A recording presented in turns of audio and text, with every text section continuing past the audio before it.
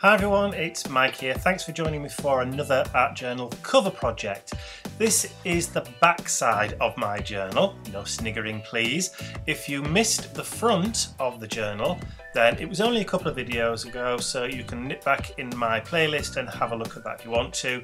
But if you missed it because you haven't subscribed, then you can do so by clicking the button that you can see on screen right now. So on with the back cover. As you can see, I've already taken the cover from the journal itself. I've removed it from its spiral bound and I'm just covering the entire of the back cover with a coat of the indigo blue black gesso. So I'm going to speed through that and I will play some music and let you watch paint dry for a little while.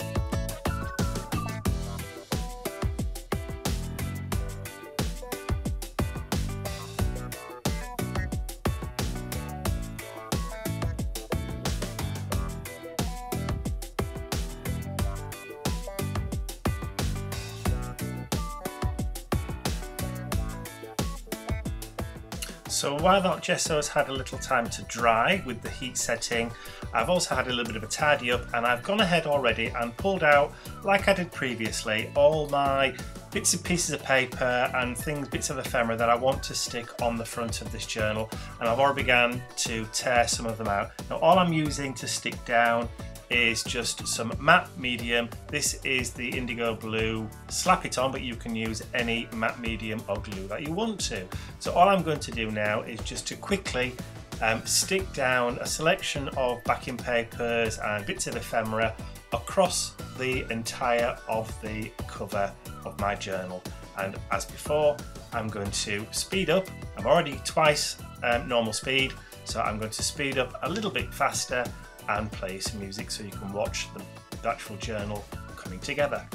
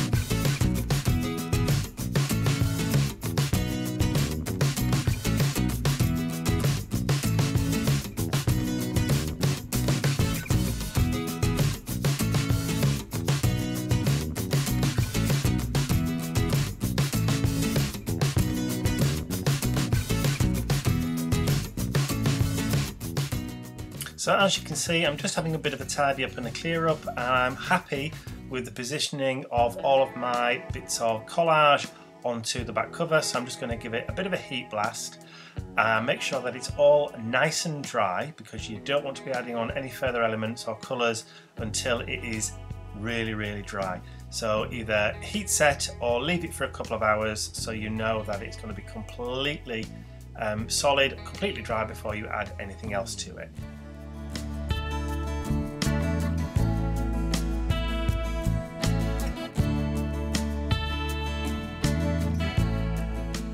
So I'm really happy now that my cover is totally dry enough for me to work on.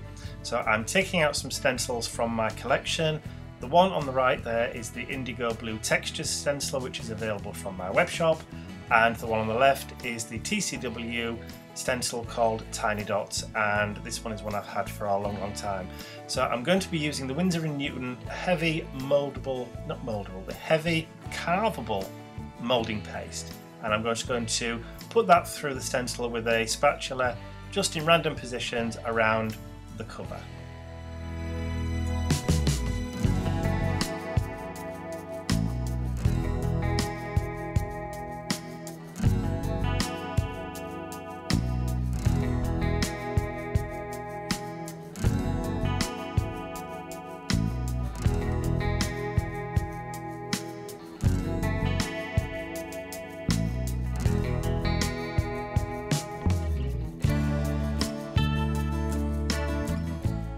So all I'm going to do now is just give that moulding paste um, a bit of a heat blast with the heat tool just to make sure that it is dry before I add any other texture to it because the last thing that we want to do is to put another stencil over the top and find that it's smudged it all.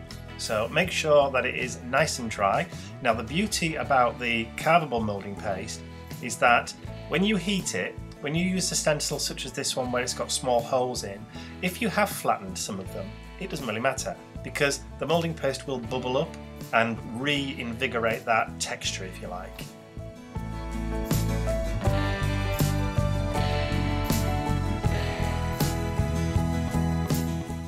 So now I'm using the Indigo Blue Texture stencil and again using the same modelling paste or moulding paste I'm just going to apply that through the square section of the stencil just making sure that I get the positioning right. And I'm just going to randomly put that around the cover.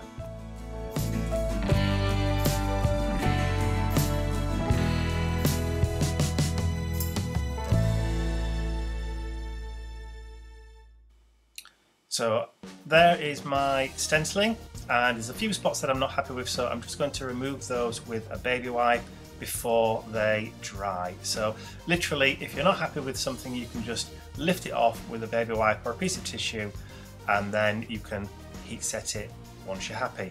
And waste not, want not, I'm just popping the, re the remaining stuff back into the tub.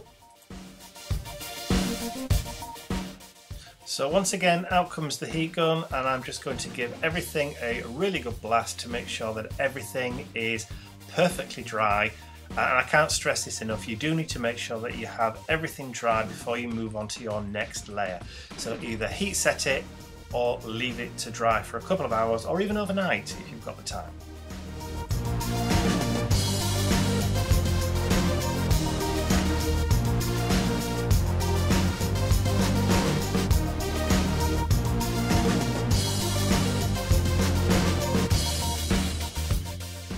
So after a quick tidy up, I'm going to grab a pair of scissors and I'm just going to trim off some of the excess bits of the collage that are hanging over the edges of the um, of the cover. Now you can use scissors or you can use a knife, it's entirely up to you. I decided to use a knife but my knife wasn't particularly sharp so it did pull some of the, the paper um, from that boo that you can see there but that doesn't really make much difference. It just adds to the um, the collage defect, if you like. It's all uneven, it's all torn anyway, so you don't have to be 100% perfect unless you're um, completely OCD. Okay, so the next step is to add some more stenciling. So this time I'm going to use the Dina Wakley stencil called Affirmations and I'm just going to apply some white paint through this stencil with a stencil brush.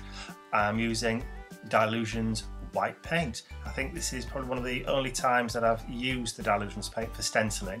Um, so this is brand new for me and I really was doing this as a test to see how it would hold up or whether it was too fluid. Um, it works okay. Um, there is a little bit of movement to it, but not a lot, but enough um, stability in the paint for you to be able to stencil quite easily with it. And I'm sure the more heavy body paint that you use, the easier it is to stencil. But because of the, the nature of the art journaling that we do, the paints that we tend to use are kind of medium. The Tim Holtz Distress paints are kind of fluid. The Dylusions paints are fairly fluid. The Indigo Blue ones are fairly fluid. The only ones really that have a heavy body to them are the Dina Wakley paints. But for art journaling, we don't really need a heavy body paint, so the Dylusions, the Tim Holtz, the Indigo Blue ones are perfect. So as you can see, I've added the stenciling in horizontals as well as verticals. Now, obviously I've avoided diagonals because we just don't do diagonals when we're doing mixed media art journaling. It's just one of those things. Okay, so now I've put the front cover next to the back cover and as you can see on the front on the left, it does have some green colour in it. And I wanted to carry that colour over into the back as well, but I didn't put any uh, underpapers with green in, so I'm actually going to use some paint on the back cover just to balance those colours out. Now the paint that I'm using here is the Indigo Blue English Cottage Artist Acrylic Paint, and this is the metallic Emerald City. So all I've done is mix that paint with a little bit of water into a spritz bottle and I've just splashed some dribbles and some splatters of that green paint onto the back page and you will see me add some more in a second because I wasn't happy with the, the amount that was there so I did put some more on.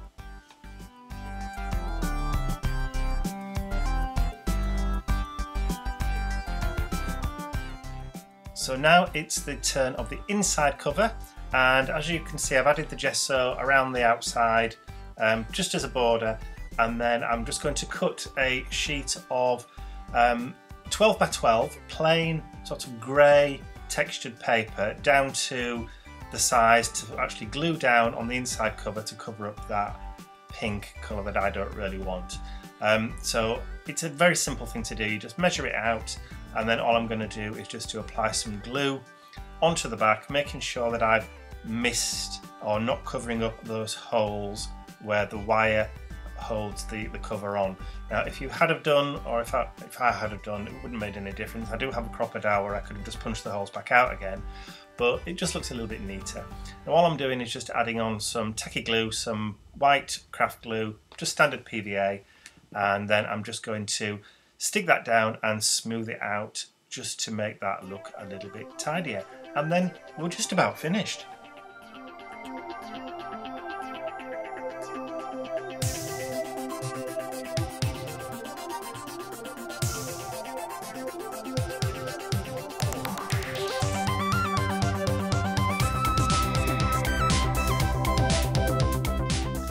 So now we're complete. The only thing that remains to be done is to reunite the back cover onto the journal itself. So all I'm going to do is just tease those wires open and then just slot the cover back onto them and then we're ready for use.